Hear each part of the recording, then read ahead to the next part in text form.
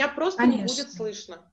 Дело не в том, что мне там будет жарко или неудобно, да, мне будет жарко и неудобно, но я готова с этим а, mm. мириться. Еще раз говорю, я, я не боюсь заболеть, я скажу честно.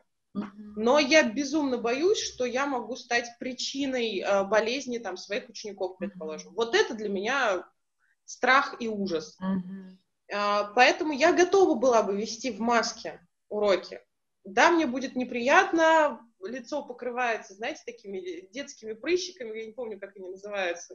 Ну, да, а, раздражение, наверное. Да, ну, естественно, идет раздражение. Ну, может быть, щиты вот еще, ну, защитные экраны еще. Да, защитные экраны. Ну, вариант. Меня должны слышать. В маске не слышно, но вспомните, когда вы даже на кассе расплачиваетесь, Конечно, можно попробовать.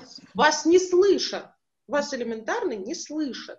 А тут у меня будет 30 человек, они все там эти 30 человек, они дышат, они переговариваются нормально. То есть даже при э, адекватном классе, который не шумит вообще, все равно в классе стоит легкий гул. Ну, потому что тут много людей.